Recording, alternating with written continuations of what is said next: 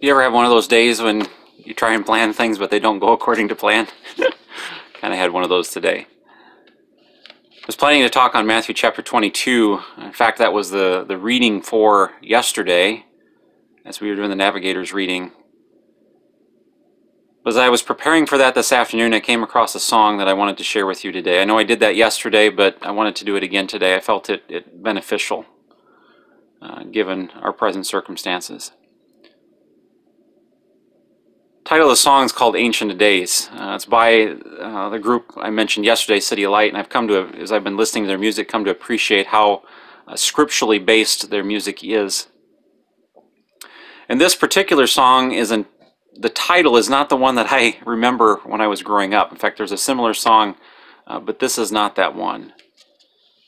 That term Ancient of Days is actually only found just a few places in Scripture. In fact, one of those we find in Daniel chapter 7, uh, verses 9 to 10. I wanted to read that for you just to give some context to where we see it. It says, While I was watching, thrones were set up, and the Ancient of Days took his seat. Daniel 7, verse 9. His attire was white like snow, and the hair on his head was like lamb's wool. His throne was ablaze with fire, and its wheels were all aflame. A river of fire was streaming forth and proceeding from his presence. Many thousands were ministering to him. Many tens of thousands stood ready to serve him. The courts convened and the books were open. And then it talks in verses 13 about the, the Son of Man, whom we know to be Jesus himself, going up to the Ancient of Days, God the Father. Now, the term Ancient of Days pushes us to look back to Genesis.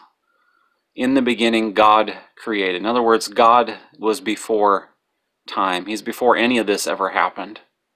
He existed from eternity past. Uh, we often say he's from eternity to eternity. He has no beginning, he has no end. He has forever existed. And with that, he is the one who had the power, um, the wisdom, and the might uh, to set up this world.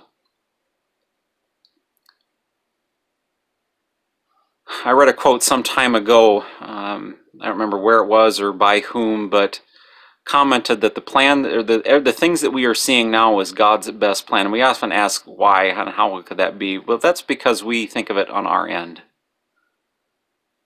We think of it as something that gives us the most comfort, gives us our every satisfaction, gives us our every desire, but those are fleshly things, and those are things that we're desiring from a sinful perspective.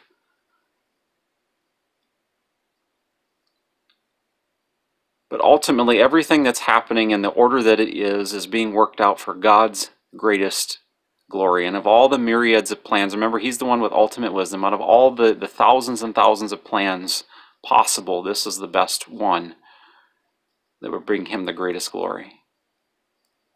And I know there's a lot of varying emotions right now with anger at some individuals, politicians, uh, world leaders, uh, well known people and on the other end, there's complete fear and anxiety of what waits ahead of us uh, with the economy, with the virus itself, with any number of other things, the, the hornets or the wasps that came out here that we're, reading about now that's plastered all over Facebook.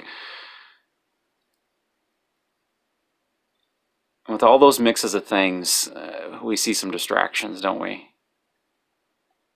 My purpose in all of this is to be to be looking and watching as to what God's doing. He's using this time for a purpose. I think he's drawing the church closer to himself. I think he's spreading the gospel uh, in ways that have never been done before. I think it's uh, it's opened doors for the persecuted church in some respect, as as they have been the ones that have been uh, administering humanitarian aid in many places that uh, that uh, the government and, and others wouldn't even begin to touch. They were the ones there risking their lives. We've seen that in our own country as well. What's God doing? What is the Ancient of Days, the one sitting on the throne, doing right now? And that term in and of itself was comforting me uh, today. you know, amidst everything that's going on, and, and I honestly I have some questions about, you know, everything that's going on, but I don't know what to think. But I do know this God is in control, and everything is going according to His plan. And so my job is to watch, to look, and to see what He's doing, and how ultimately I can use this time, how I can redeem this time for the gospel of Christ. So take some time, listen to the song after this clip. It reminds us of some amazing truths. Yet what? The king is reigning over all. This truth remains, it says. None above him, none before him. All of time is in his hands. His throne, it shall remain and ever stand. And towards the end, I watch and wait for the Savior King. And that's what we do. We look, we watch, we anticipate as to what God's doing in this world to bring himself the greatest glory through this unique time. Hope you're encouraged with this song as I was uh, today. Uh, tomorrow we'll get to Matthew 22. Um, remember, Ancient of Days. Think upon him today, the one who holds everything in his hand. God bless.